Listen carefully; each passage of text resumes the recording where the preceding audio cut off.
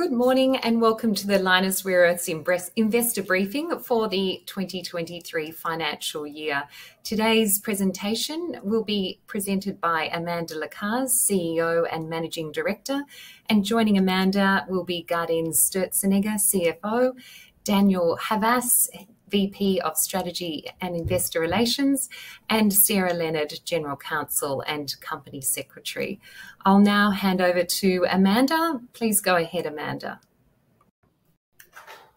Thanks, Jen. Um, good morning, everybody, and as always, um, thank you for joining us today as we talk about our results. Um, I'm sure that many of you will have already read all of the material which has been uploaded to the ASX, and you will see that in the year that's just passed, we've had some highlights and, you know, we've had some lowlights. Um, I'm sure there are many questions, but before I take those questions, let me speak a little bit to some of the highlights and lowlights. Um, you will have seen that we've described this as a productive year, and uh, for anyone who's ever done any releases of any sort, you would know that we spend quite a lot of time thinking about what's really just the right way to describe the year that was. And so we feel that productive is a very good description. Operationally, um, we had a very productive year, uh, but we also made significant progress on our investments for the future. If we look first of all at our operating performance, it was indeed a highlight. Uh, in a year of two halves, in the first half, we had lower production, significantly affected by, seems like a an ancient memory now, but the water challenges that we had in Malaysia when there was the huge burst water line, um, and higher prices. In the second half of the year, we had record production outcomes, um, in an environment with lower prices. And the outcome of that was that our second half revenue and profit was pretty much equal to our first half, despite the significantly lower prices in the market. And that really demonstrates the strength that we have from our operating base and our experience. Mount Weld performed extremely well throughout the year with record production. That's really important because it meant that Mount Weld was able to not only feed our Kuantan facility, but also to build a stockpile for the startup of the Kalgoorlie Rare Earths Processing Facility. And if, as we indeed fervently hope, you know, we are in the near future operating two plants, then, um, you know, this this bodes very well for us to be able to feed those two plants. In Malaysia, the water problems um, have been put to bed for now. And um, we saw in the second half of the year when there were none of those external Uh, factors actually reducing availability, that we were able to record uh, record production quarter-on-quarter um, with uh, 1,860 tons in the final quarter, which was really an outstanding result.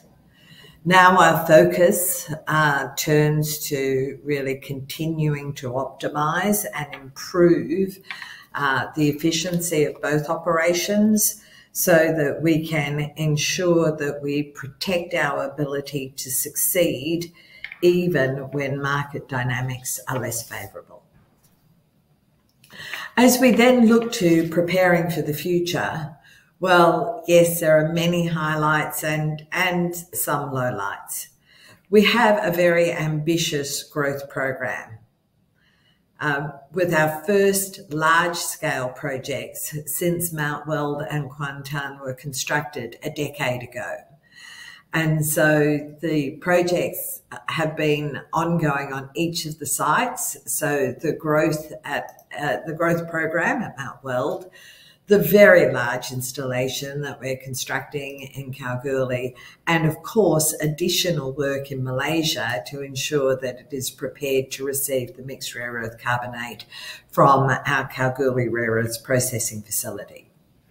At Mount Weld, we continued our drilling program, and it's a program in two parts. So we are drilling out the ore body to improve our understanding of um, the current uh, deposit and to undertake a proper update of our resource and reserve statement.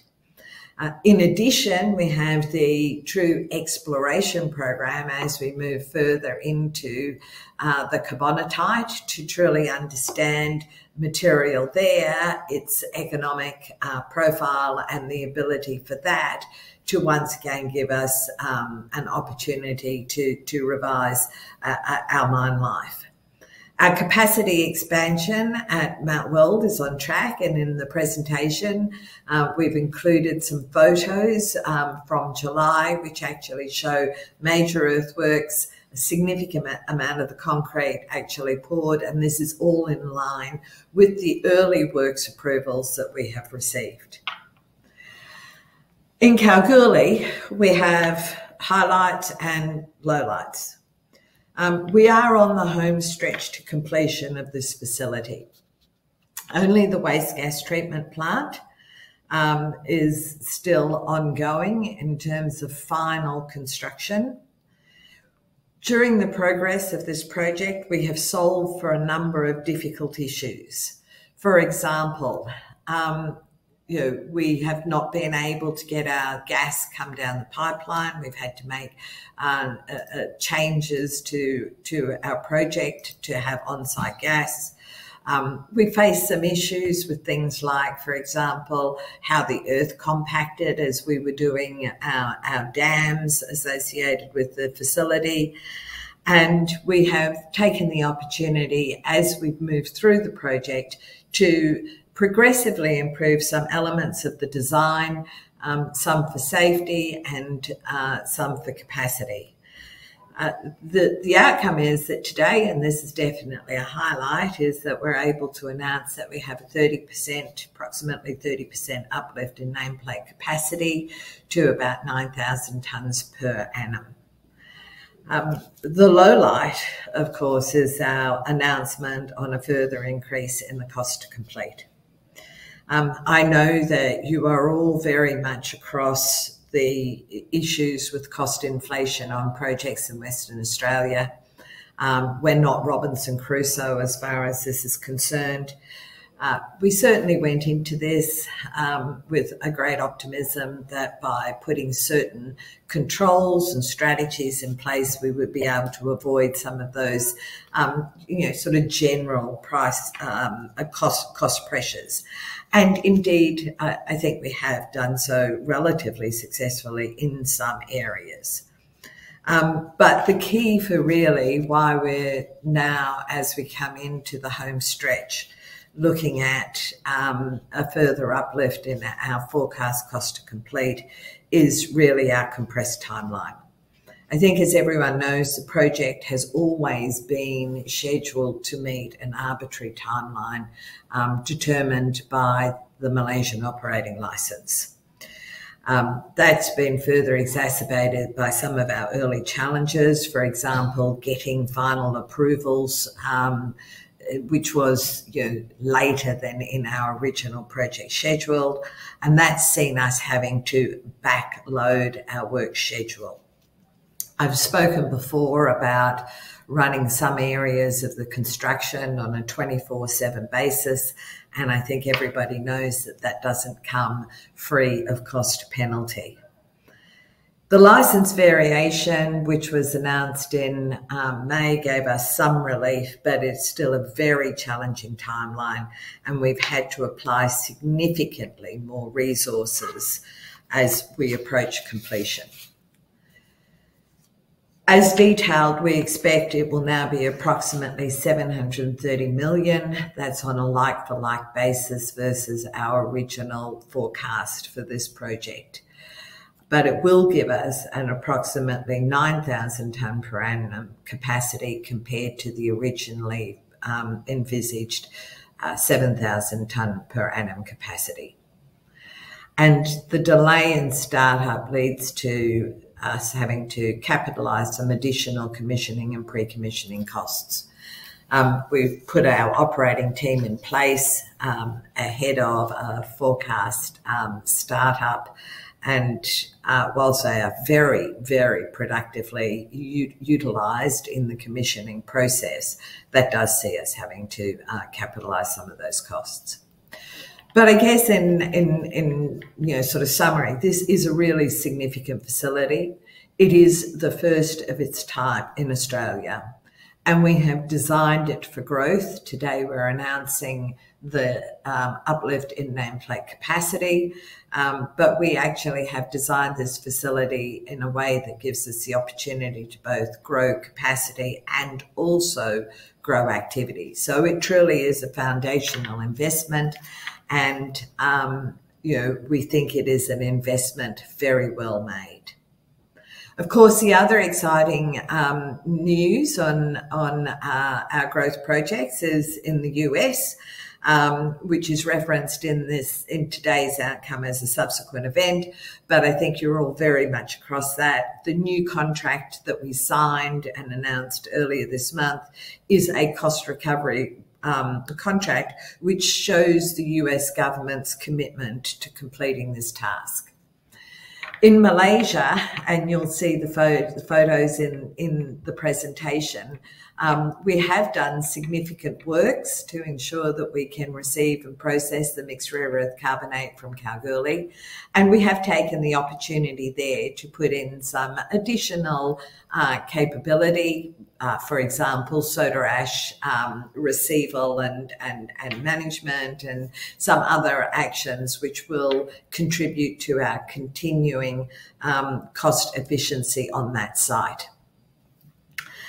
On the Malaysian license, we do continue to engage uh, generally very productively, I think, with both uh, federal and state governments in Malaysia on the importance of the rare earths processing industry as a source of growth for the Malaysian economy and the importance of Lynas operations as part of that. And I really would encourage you all to click through onto YouTube and see um, the uh, you know, 10 years in Malaysia ad, ad campaign that we've got um, airing on television and also online at present. Of course, the other thing which is included within the report and which is a matter that I know all investors are interested in as well is, you know, sort of what we're doing in terms of ESG. We have a very strong culture and commitment to each of the E, the S, and the G. Um, and I think that it's really important. Quite often, there's a lot written on ESG governance as if it is something which is forced from the outside in onto organizations. In our case, um, this is not an external con condition, but an internal drive. Our people are absolutely driven by their commitment, not just to our communities, but also to ensuring that we run operations which are safe and environmentally sustainable. Whether it's environmental eh, environmental initiatives, for example, um, tree planting in Kalgoorlie, educational initiatives, back to school program in Kuantan, solar kits for um, you know, primary age children in Kalgoorlie, uh, sports like our wonderful sports carnival that we have each year in Kuantan. One year, my husband tried to teach um, the soccer mad locals how to kick an AFL footy. Um, that was sort of interesting and had um, some spotty success or just making sure that our people are front and center in our volunteering activities. It is our people who drive our commitment and our culture to meet what is expected by the external world in terms of ESG. And we do it because it is the right thing to do. So, as I said at the beginning, we see this as having been a very productive year. Um, we are now facing into a transition year as we look at, you know, um, we have a couple of different scenarios, but the current one is one where we get Kalgoorlie um, up and running, and then we transitioned to that as the feedstock for our downstream operations in Malaysia. Um, continuing work at Mount Weld and also commencing the project in the US. And this is all about ensuring that we are match fit for the future because we have absolutely um, no no concerns at all about the fact that this market is going to continue in val- to grow in value and in demand, and we need to make sure that we are ready for the next year when the market dynamics are as positive as they were last year. So, with that, um, I'm very happy to take any questions. And our first question will come from Chen Jiang of Bank of America. Your line is open. Good morning, Amanda. Thanks for taking my questions. Um, a few from me, please. Um, firstly, on Kalgoorlie nameplate, uh, 9,000 ton per annum, um, but Lynas target is to achieve 12,000 per annum by FY 24, uh, sorry, FY 25. I'm just wondering what's the contingency plan where the license condition from Malaysia um, is unsuccessful, and how should we think of Kalgoorlie additional CapEx required and timeline um, to produce 12,000 ton per annum of NdPr? Thank you. I have another. Um, I have two more after this. Thank you. Um, so, yes, um, this is a very good question, and we continue to fit the pieces of the jigsaw puzzle together um, in terms of ensuring that we have uh, each of the different stages of production aligned. Um, as we look at uh, you know each of these uh, capacity growth initiatives, we look at what is the optimum uh, step in the first instance. So, for example, as we think about moving through from you know the current sort of 7,000 tonnes up to say the 12,000 tonnes, um, we could have said, oh well, at Mount Weld we'll just go to say 10 in the first instance, but but it it project planning, design, and efficiency said best to go to the 12. In terms of the Kalgoorlie facility, our first um, milestone was that we needed to make sure on a risk management basis that we were able to at least replace what we did in Malaysia. But as the project has progressed, we've actually made decisions and we've disclosed those previously to allow us to confidently provide the um, target uplift in nameplate capacity. Now, further investment in that, whilst we are still in ongoing discussions with um, the regulator in Malaysia, we feel would not be prudent. Um, however, as I indicated, the Kalgoorlie facility is you know, sort of a really substantial foundational facility, which gives us room to grow both in terms of capacity and, and, and activity. Um, but we're not in a position to disclose specifically how that would operate today, but we are in a position to disclose the 9,000 tonnes per annum. Sure. Thanks. and Thanks for that, Amanda. Um, another one, Kalgoorlie here again. Um, the CapEx increased to 730 million. Um, I'm wondering if you can provide any color, how much is due to um, inflation and how much is due to additional cost? You mentioned, um, you know, the additional cost incurred to accelerate the schedule in order to meet the deadline by the Malaysian operating license. Thank you. Um, so the, the, the major portion is associated with uh, increased um, resources to meet the schedule. Right. Thank, okay. Thanks. And and and how should we think about the um, operating cost in FY24 um, at Kalgoorlie, which is still early stage? Um, understand labor and utility costs will be higher versus um, you operate from Malaysia. Is there any indication what expected, like like for like, such as your chemical rea reagents cost from Kalgoorlie versus what was achieved in Malaysia? Thank you. Yeah, so we, we haven't disclosed that at this stage because there is a lot, you know, that goes on as we actually go through the commissioning process.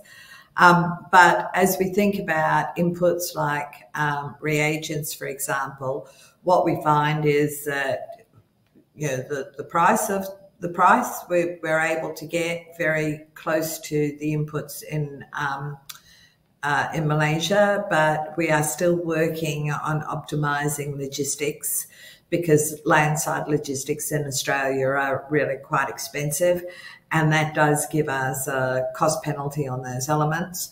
Um, as I said, we're very focused across all three sites on continuing to drive down costs to ensure that we can be successful it will be um, some time before we're able to really be definitive on the uh, cost structure in in um, Kalgoorlie, because of course in the ramp up phase there's going to be significant um, penalties associated with that ramp up phase. Um, we know what is the theoretical gap today um, between you know, sort of a, a, a, plant which has been operating for 10 years in, in Kuantan and has been optimized on several occasions through that versus a startup plant in Kalgoorlie. But it would be misleading to, you know, sort of use those as being the basis for ongoing operations.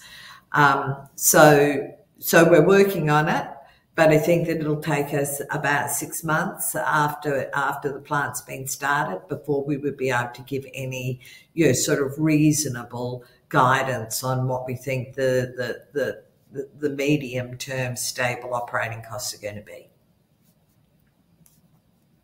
Sure, sure. Thanks, Amanda. I'll pass it down. Thank you. Thanks, Jenga. And one moment for our next question.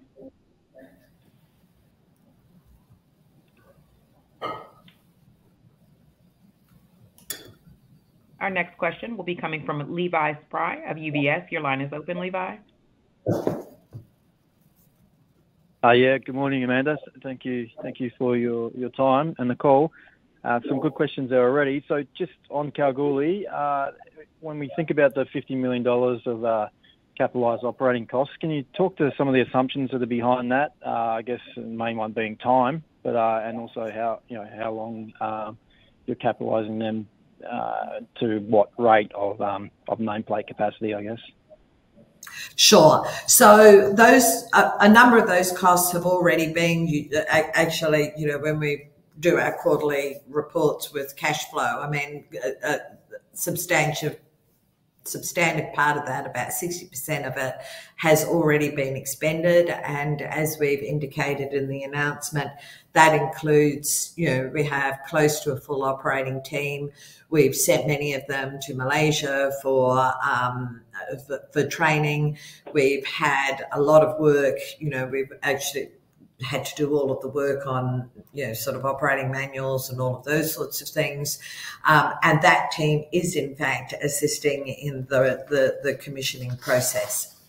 Um, we also have first fill um, has been completed, so we have soda ash in the soda ash silos, and we have um, gas in the LPG bullet, and we have I think we have some acid and, and the sulfuric acid. We clearly have water and a whole series of those sorts of things, which, if we had uh, commenced earlier, um, would have already, uh, you know, sort of converted. But, you know, accounting principles being as they are, it says that these these um, expenses will be capitalised un- until um, the plant commences uh, operation of its purpose or words to that effect.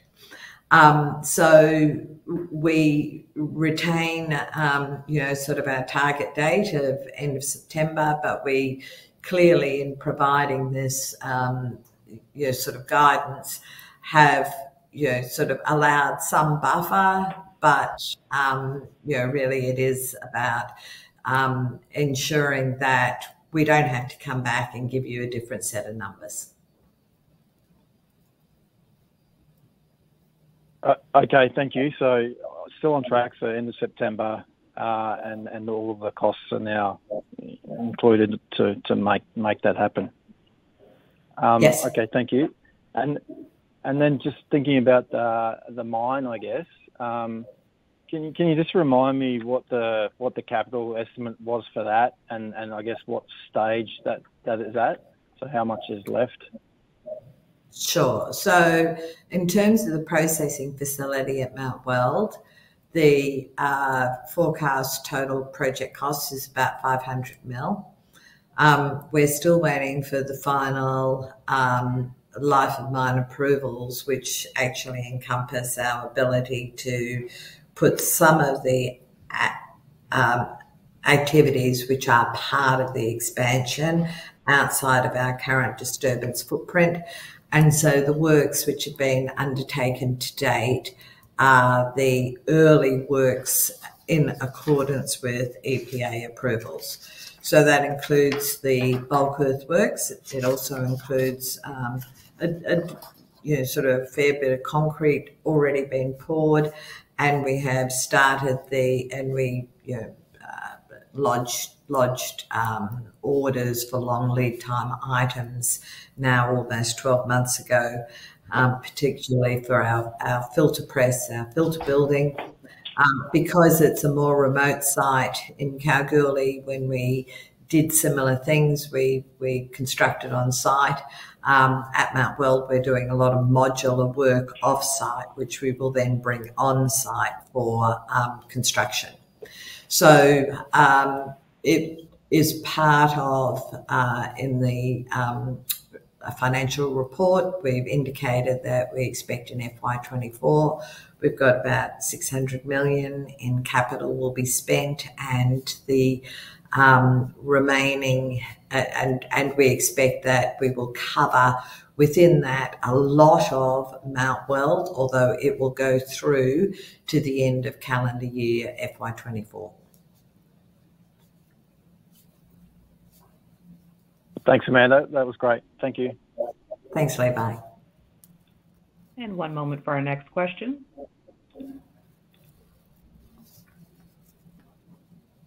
Our next question will be coming from David Deckelbaum of TD Cowen. David, your line's open. Good morning, Amanda and team. Thanks for the time this morning. Hi, David.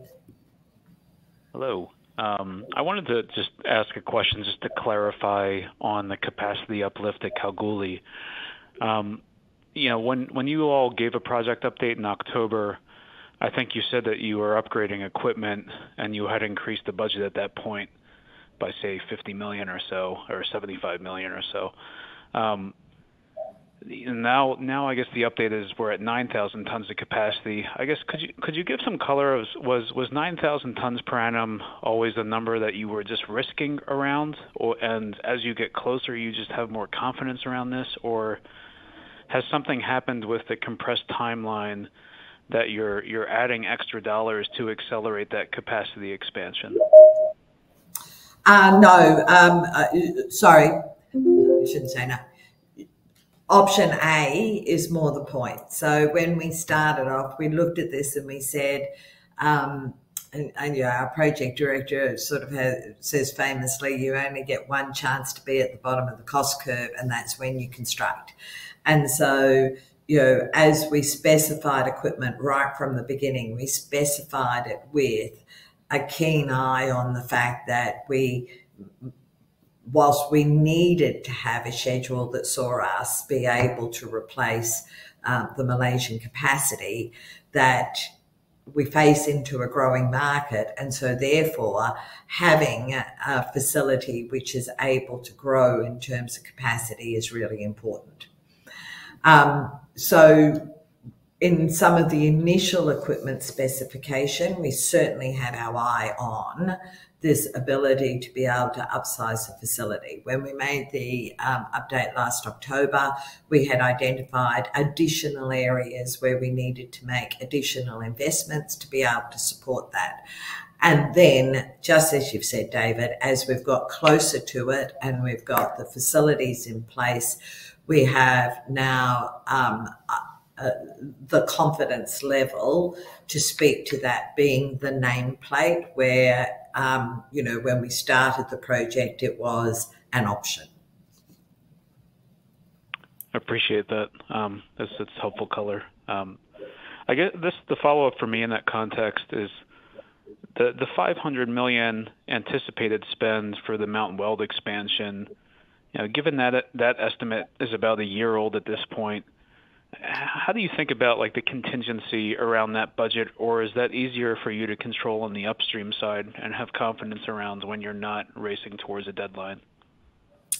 Um, yes. Your second point is is certainly relevant. I mean, we don't have a requirement there racing towards a deadline to just, you know, sort of, um, put additional resources on it, have more crews, uh, you know, deal with some of the contractor management issues in the way that we've been required to deal with them. Um, it's also a brownfield site, and so therefore, um, we we face a different set of challenges, but we have a much greater familiarity with what we're doing. Um, In phase one, so we think of, you know, sort of phase one, which is this early works phase, and then phase two, we have had some draw on the um, on the contingency. However, we still have contingency headroom, but the team is currently conducting a a further cost review on that as well, to see whether there's going to be any further changes. But it is quite a different set of challenges associated with that project compared to the project in Kalgoorlie. If I could just sneak, do you know when that cost review will be completed by? Soon. Fair enough. Thank you. One moment for our next question.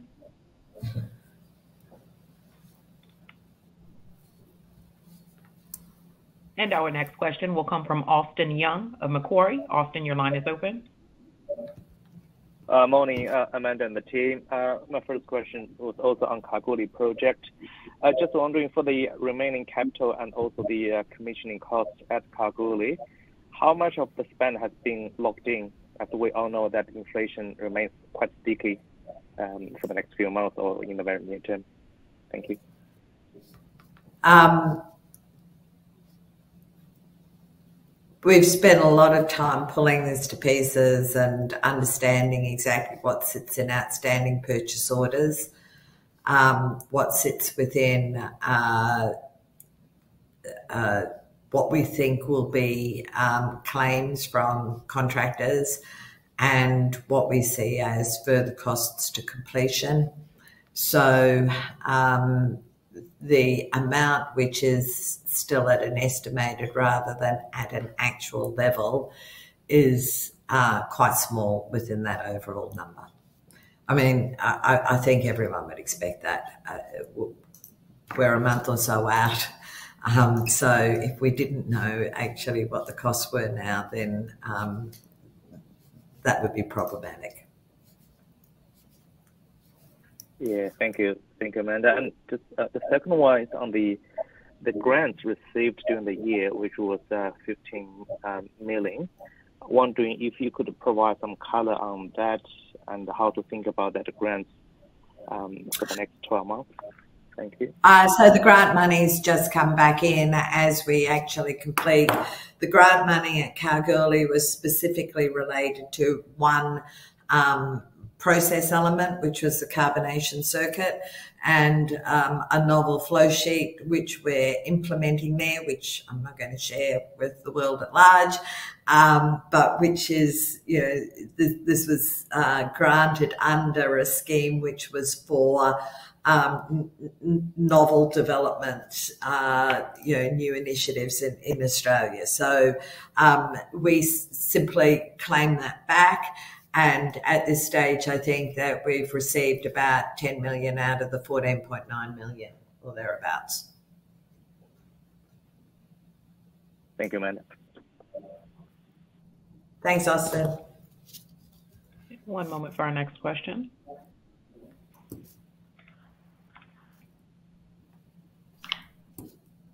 And our next question will come from Paul Young of Goldman Sachs. Your line is open, Paul. Hi, Amanda. Good morning. Hope you're well. Um, Amanda, I'm trying to figure out now with this CapEx increase at Kalgoorlie, what the, you know, total capital outlay could be for Lynas 2025 uh, to achieve the 12,000 tons. So we have the 780 on Kal, the 500 as it stands today on Mount Weld, and you previously sort of outlaid some, you know, indicated uh, modest sort of capital to expand LAMP. And then we have, you know, possible debottlenecking or brownfield CapEx for Kal cracking and leaching and and uh, and also possible CapEx for the light rare earth refinery in the U.S. So, and I know you're probably trying to figure out this as well as it stands based on the options, but uh, do you get a sense of what the total capital will be to achieve Lynas 2025?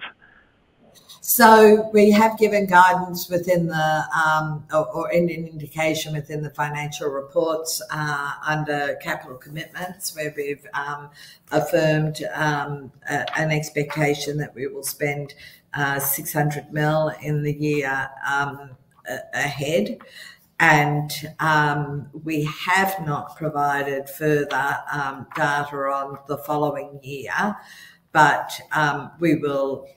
But you know, this year still includes Kalgoorlie. It includes, you know, sort of the bulk of Mount Weld. It includes the LAMP, uh, you know, sort of activities at the LAMP as you've identified.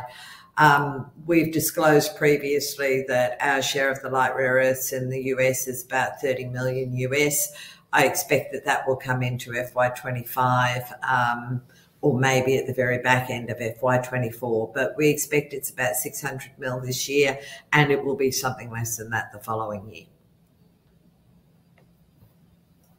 Okay. Uh, thanks, Amanda. And then maybe just switching to the U.S. I mean, um, great update on the, I guess, on the U.S. Um, Department of Defense uh, funding, additional funding associated with the heavy earth plant. Just curious around the the heavy earth plant, and uh, have you thought through um, um, around uh, will you go downstream steps five and six of the value chain? Will you look at metallization and magnets partnerships there? And how how should we think about, you know, the government's involvement and underpinning a, you know, a floor price on the heavy on on heavy on the heavy Um, rare earths? In terms of um, downstream, Paul, it's a really good question because I think that, you know, um, this this vision to be mind to magnet is actually been around. Pol's not joining us today because he's got some visitors on site in WA. But um, he sometimes says to me the first time he saw a PowerPoint slide talking about mine to magnet was in, I think, 1999. Um, yet we have not achieved it outside of China um, today. And so there are reasons for this. The competencies at each of the stages are actually quite different, and it's very easy to say, "Well, let's just do X or let's just do Y." But frankly, what you need to know and be good at to be good at mining is different from what you need to know and be good at to be good at the chemical processing step, which is essentially what we do, uh, we'll be doing in Kalgoorlie and what we do in Malaysia. And then metallization and magnet making um, bring in a different set of skills fundamentally from, you know, from from what you've got um, in your chemical processing area. So it is absolutely the sort of thing that you can't just wake up one day and say, "I'm going to be doing this." You need to look for good partners, skilled partners, people with the right sort of technical knowledge and expertise in those areas. What we have done in the U.S. is that we have selected a site where we will be able to accommodate both, um, you know, further downstream activity and recycling activity. You know, if you have a magnet factory, you need to be able to recycle your swarf and um, it's unstable, so you can't be shipping it long distances and those sorts of things. So we see this as a real opportunity, and we are engaging with, you know, sort of relevant potential partners, um, which may be a partnership which goes anywhere from supplier uh, customer partnership through to um, some sort of a joint venture, and we are actively engaged in, in that process as we speak. The success of developing an outside China industry is important for all of us. And, you know, so sometimes um, I think that the the desire to set up um, outside China operators as if they're you know, sort of competing with each other, when in fact the main game is China, right? That is our competition. For the rest of us, our success is going to be about building this outside China industry. Otherwise, we simply produce material that ends up going into China for finishing and further value adding. So I think that we do need to work together in this area, and we are certainly very focused on engaging with relevant Um, potential partners on further developing downstream activities. And I think the U.S. Amanda, for that response. Sorry, I was just going to say, and I think the USG truly understands that. It is part of what drives into things like the you know sort of Inflation Reduction Act. Um, it also uh, you know sort of feeds into proposed um, sort of tax credits on on materials produced and otherwise. So um, the U.S. government is very focused on um, reshoring a number of these areas. And um, when the U.S. puts its mind to doing something, um, I think they have a very good track record. Yeah, thanks, Amanda. Sorry, just part B to that um, around uh, the pricing, because I know Pol a while back said that your SEG, you're getting only sort of 50% payability around that number versus sort of, if you call it a benchmark within China and terbium dysprosium, cetera. Um, how do you think about pricing of those heavies um, with respect to you know, floor pricing or how you should price those? Um so I think that in terms of, as we think about the production which is coming out of um, uh, the Texas facility, Uh, clearly the DOD will get first call, and um, it will be done at commercial rates. And so therefore, we will capture that additional margin that you've just mentioned, Paul. Um, our focus is on ensuring, and we are working on this in terms of looking at our feedstock profile as well. If you look at an NdFeB magnet, a high-performance NdFeB magnet, you basically need your DyTb at a rate of about 1:10 uh, to your NdPr. Um, So we need to increase the amount of uh, DyTb that we have. And what we will look to do is to work with our customers to optimize the pricing on that because it will be of great value to our customers to uh, secure not just their NdPr, but also their DyTb in the right um, ratio. Okay, thanks, Amanda. Look forward to seeing it evolve. Cheers. Thanks, Paul. And one moment for our next question.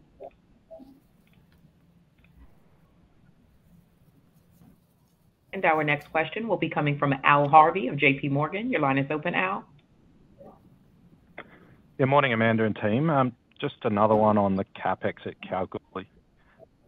Was there feedback there? Um, just wanting to understand uh, CapEx guide, still 600 million for 2024, but we have had that um, increase at Kalgoorlie. So just wondering if if there's been a shuffling um, across the other projects, um, kind of how we think about, yeah, the 600 million spend across the across the the different projects. So I think that uh, if you look at this, and Gaudenz can come in as well, but we're really talking about often when we're talking about cash, uh, CapEx, it's really sort of what we see in terms of cash. And as I said, with some of those um, uh, capitalized uh, pre-commissioning and commissioning costs, um, that cash has already um, been seen through. And so at 30 June in the accounts, we've got 600 million cash out. Yes, there is. I mean, I think that there's always a little bit of balancing. As it turns out, some of what we're doing in the LAMP has cost us a bit less than we originally thought that it was going to cost us. Um, some other projects we haven't commenced yet. Um, ultimately, the amount that you get to spend in a year can sometimes also be determined by your ability to actually spend. So if you think about six, $600 million in a year, that's an awful lot of dollars every single week.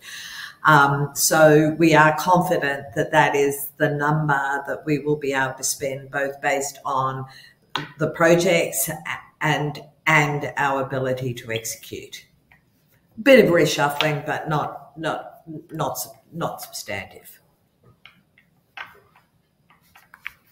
Sure. Thanks, Amanda. Um, just onto LAMP, just note the, the High Court's recently um, ruled to grant um, judicial proceedings to, to progress your licensing appeal. Just want to get a sense of what the next um, timing milestones might be there that we can look out for. Sure. So we lodged the uh, two the two judicial review applications um, the end of last month, and the first uh, hearings in front of uh, judges were in um, were last week, and that's where we were given leave to a, a, appeal. I, I, think Sarah's on the call and she can add to this, but uh, no. Uh, okay, we had some problems getting Sarah connected, so I'll just um, uh, cover this myself then. So the next step is that there will be um, a hearing of sub- substantive matters, and I think that that's in the first week of September, Daniel, um, and uh, then it will move through from there.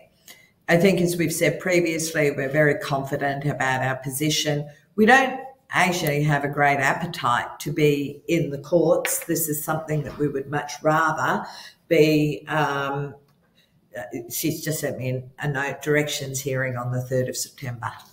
Um, so uh, we don't have a great appetite to be in the courts. We would rather actually deal with this um, with with the regulator and the government on a, a, a sensible um, evidence based uh, basis. Uh, however, um, you know, we are compelled in this instance to move through this uh, judicial review process. And um, we are very confident about the grounds on which we have made the application. Thanks, Amanda. And just finally on the, the Mount Weld capacity expansion, I just wanted to get an update on how the progress of the, the apatite processing circuit's going. Um, if you've got any update there.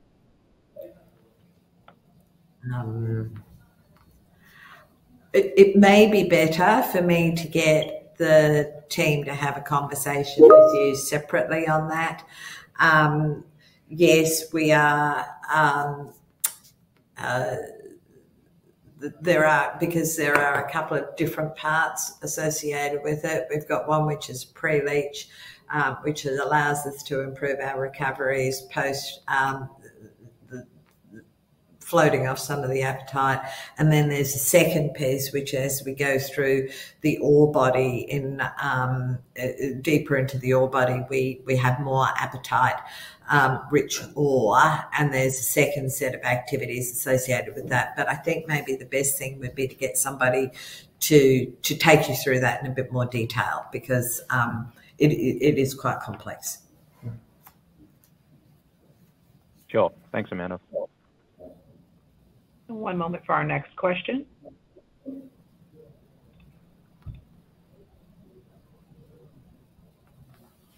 Our next question will be coming from Reg Spencer of Canaccord. Reg, your line is open. Uh, good morning, Amanda and team. Um, I might thank you very much. I should start. Thank you very much uh, for all the detail around the capex. That's very helpful. Um, I was wondering if I could ask a question around OPEX, uh, given inflationary pressures that we are seeing on capital. Uh, are you in a position to comment or provide some guidance or or how we should think about operating costs for Kalgoorlie? Or is that something we might have to wait uh, a little bit Okay, I, have got a little bit of interference on there, but um, we have actually I did sort of mention this earlier, Reg, that that um, we do have a profile on on the operating costs at Kalgoorlie, um, and uh, it's a lot less than the first draft, which would not surprise you. Uh, as I said, we're very focused on ensuring that we keep our cost muscle, um, even with the addition of the third site. Having said that, this year, when we are um, going to be running three plants and, and, and, and not yet able to confidently put in the additional downstream, there will be some, some uh, cost penalties associated with that. We're not we're not going to be able to form a final view on that until we've actually got this plant up and running. It is much larger, um, we've got headroom. All of these things sort of help to improve the efficiency of the material moving through the plant. On the other hand, we have some quite significant landside logistics penalties associated with some of the imported reagents like you know, MGO and, and, and those sorts of things. And so, um, you know, the team is currently working on what are better solutions than handling the same material three different times, you know, um, before it actually gets to the plant. And that should allow us to be able to um, get some further cost optimization in that area. But I, I don't think that we can give you good guidance on this until we've actually got the plant up and running and we see how, um, you know, uh, and, and we start that optimization process on the costs. Understood. Thanks very much, Amanda. Um, another question would be around Malaysia. I, know it's, difficult for you to give us a timeline on when we might expect an outcome of the judicial review. But if, I could uh, put something to you on a uh, best case scenario here, if the review was found in your favour and you were able to continue to crack and leach indefinitely in Malaysia, you've you would then have uh, what like 17 or 18,000 tonnes per annum of cracking and leaching capacity. Um, under a best case scenario, you know, how might we think about uh, that review being found in your favour, or is it just far too early for you to speculate on that? Um, under a best case scenario, yes, we have approval to continue to operate in Malaysia. Under a best case scenario, uh, we uh, then would make um, commitments and decisions related to upsizing the downstream uh, capability. And I think at the last quarterly call, Pol actually talked about, you know, we have an opportunity to consider how to revamp our SX and and and in particular, but also invest in further uh, product finishing capability in Malaysia, which would allow us to get an uplift in uh, capacity there. Which is why we are confident about making the step to the 9,000 tonnes of Kalgoorlie, because you know we, we will be able to um, uplift further the downstream capacity um, at the most appropriate time. The other thing to note is that there are uh, that there are earth carbonate, so we're not um, sort of concerned that we will add additional capacity nowhere to sell that if we're if we're not able to process it ourselves. And of course, finally, the mixed rare earth carbonate feedstock will be going through to the US facility. So, um, yeah, it will be a very big celebration if we have both of the facilities operating. Um, and but if not, we have a variety of different pathways to ensure that we optimise the capacity which is available to us. You, you, you kind of answered my question there, Amanda. Um, in, in, that, you know, where would you locate further separation finishing capacity? Because that would appear to be the, the bottleneck uh, relative to your cracking and leaching capacity. Um, so you're suggesting that if it went all your way, that would likely be placed subject to FID and studies and so on and so forth in, in Malaysia and not somewhere else? Um, it could be in Malaysia.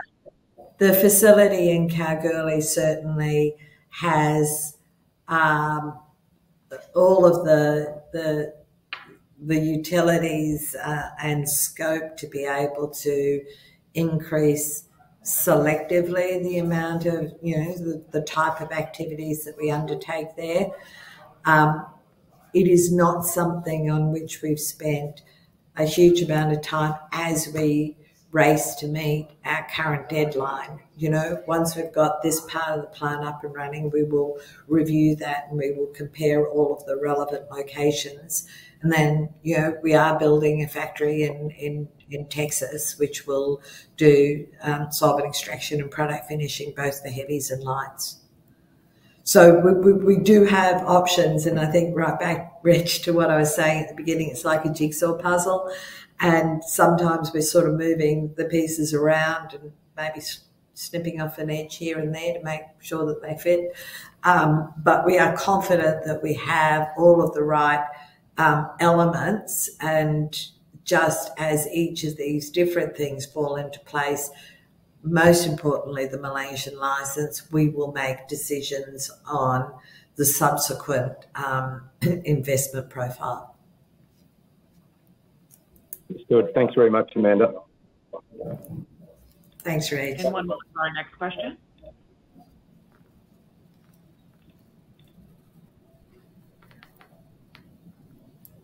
Our next question will come from Regan Burrows of Bell Potter. Your line is open. Thank you. Uh, good morning, Amanda and team. Thanks for the time this morning. Just a couple of questions from me. I might um, might just start with a broad one, just in terms of production and sales. Um, I think on the on the quarterly call, you sort of guided to roughly 10 to 15 percent of inventory stockpiling over the next couple of quarters. Just thinking whether you're sort of um, whether your thought on this has changed, and and I guess for the full FY24, are we sort of to interpret, I guess, production sort of down and sales sort of up a little bit with that inventory volumes? I guess just how should we sort of look at it?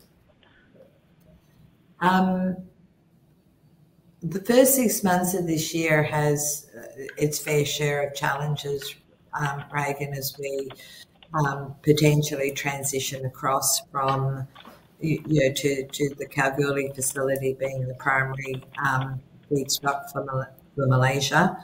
Um, you know, I, I think everybody knows that there is clearly risk as we start up the facility and the speed at which that ramp up will occur. We believe that the um, level of experience that we have in operating a cracking and leaching facility will stand us in good stead. But nonetheless, um, it, it is a large and complex plant, and uh, I, I, think everyone would know that it would be imprudent of us not to be planning for, you know, as we've described previously, various scenarios, you know, sort of a best possible and, you know, at the uh, uh, other limit, um, you know, sort of a slow uh, ramp up. And, and you know, we, we, we have the tools to allow us to make assessments on that. So the inventory build, particularly in the six months, is to ensure that we do two things. You know, we we don't unnecessarily sell uh, into a weak market, um, but B, we also carry inventory just in case there are unforeseen delays as as we ramp up the facility. Um, so there is in across this financial year, clearly as we make the transition, as Reg just Reg just said, if we get things resolved um, uh, appropriately in Malaysia, then we've got upside. If we don't, then um, yes, it's it's likely to be. Uh, you know, that we will have some pressures on production, which is once again why we think that it's prudent to the inventory. All right. Um, thank you for that. And just potentially changing tact and I guess tackling it from a different angle, but the, the capital expenditure at, at Kalgoorlie, I remember speaking to Gaudenz, there was some sort of tax, um, I guess, shields that could have been applied to that under the COVID 19 um, sort of error rules. just sort of curious whether you were able to sort of capitalize on any of those.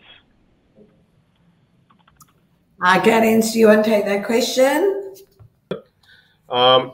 So I think that's really specific to tax and tax uh, uh, consideration. I think there was kind of this um, um, um, uh, setup in place for for Australia, kind of COVID-related, that you you could take advantage on kind of on the when when to recognize the tax depreciation of of the assets kind of in one uh, go, if you could, uh, if if they were put in in in place uh, before the end of June. And um, I think we have a couple of assets, obviously, which which qualify. I think it's a little bit different between accounting um, approach and tax approach. So we are working that through. And uh, we will know or we we need to finalize this uh, before we obviously hand in our our tax uh, declaration before the end of this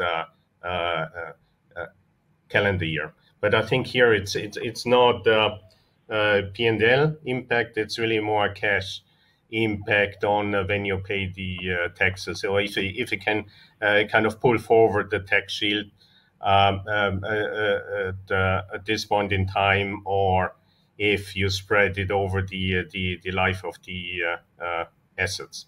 So that's that's the only impact. It's it's purely a timing impact. All right. Thanks for that, Gaudenz. And potentially just one more, if I could squeeze in, just in terms of the 9,000-ton uh, capacity increase, just confirming that's 9,000 tons of separated NdPr. So I guess from an MREC product perspective, we should think of that as roughly 15,000 tons um, capacity? Uh, um, we can confirm that at some other stage, Regan. But yes, we we think about the capacity in terms of finished product. Yeah. So it is the equivalent to the 9,000. Yeah. Yeah. Uh, All right. I'll leave it there. Thank you very much. Thank you. One moment for our next question.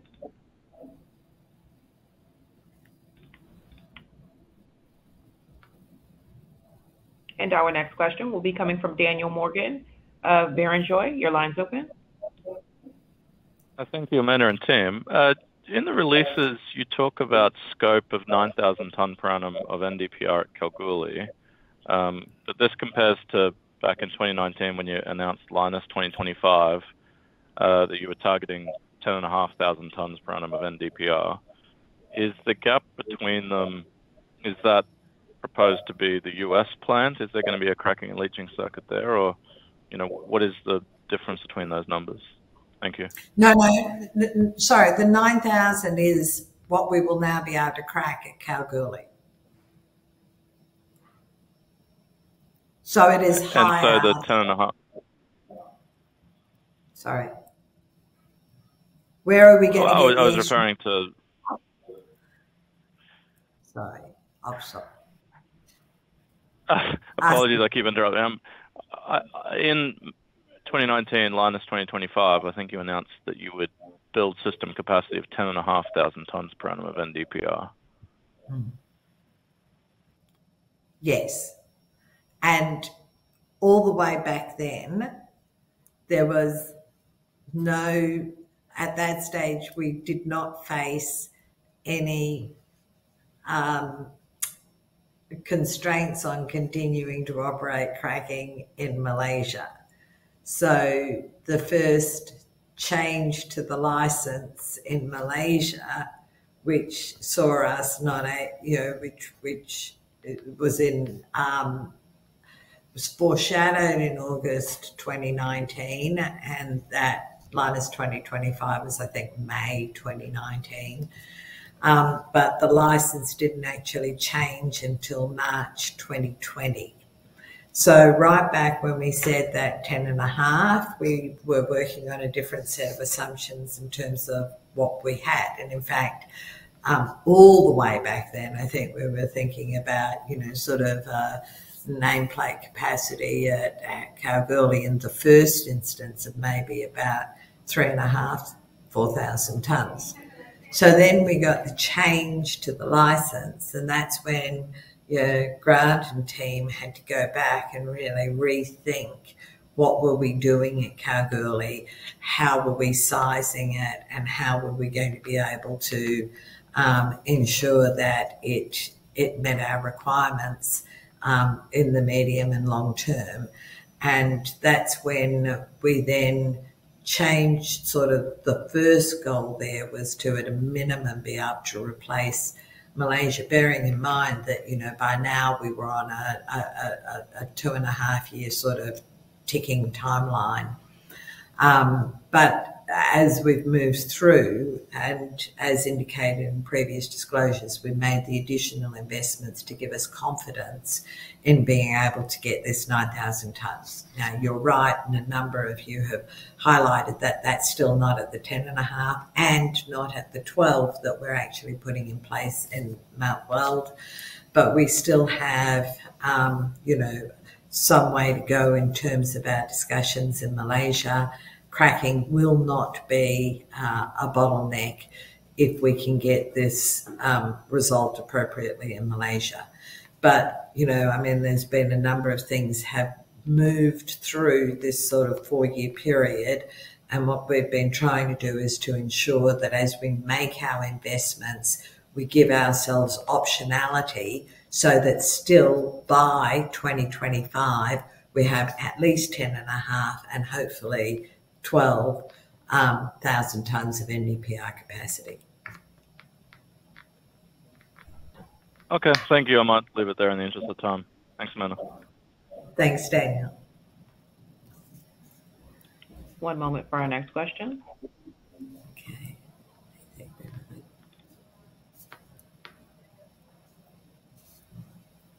And our last question will come from Paul Young of Goldman Sachs. Your line is open, Paul. Hi again, Amanda. Just a few follow-ups on the on the U.S. refinery, uh, please. Um, first, just on the on the heavy earth refinery, when do you expect to award EPCM contracts and actually start construction? Um, so uh, we have um, we have already identified uh, an, EPCM partner with whom we've been working for some time. In fact, in the next, they've been to Kuantan on at least one occasion and um, are there again um, in the next couple of weeks for a two week um, period because we have a number of our Malaysian engineers who will also engage in um, on this project. Uh, so that's the uh, you know, sort of the first point, yes, we've identified an EPCM partner and also a construction firm. The second piece is that we have started with the NEPA approval process, and that's going to determine um, when we're able to commence construction. Okay, thanks, Amanda. And then just a second one on the light earth refinery. Um, um, what is the what is the latest? What is the, the last capital estimate for the five thousand? And are you do you expect to update that that estimate? Um, we we are finalising is, is is interesting always when you deal with gov- dealing with government. So there is one contracting body for the heavies and a second contracting body for the lights.